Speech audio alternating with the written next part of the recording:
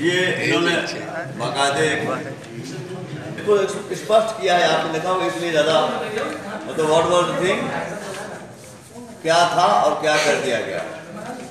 हैं? हाँ जानते हैं बिहार हम्म। क्यों करते हैं सब ऐसा? क्यों मज़ा आता है?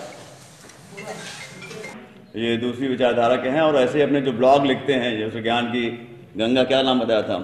उस उसमें इन्होंने इस तरह के ब्लॉग में इस तरह की चीज़ें करते रहते हैं।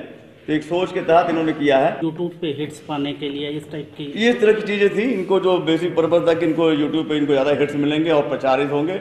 और इस तरह की खबरें लोग ज़्यादा चाव से पढ़ते हैं तो इनकी टीआरपी बढ़ेगी।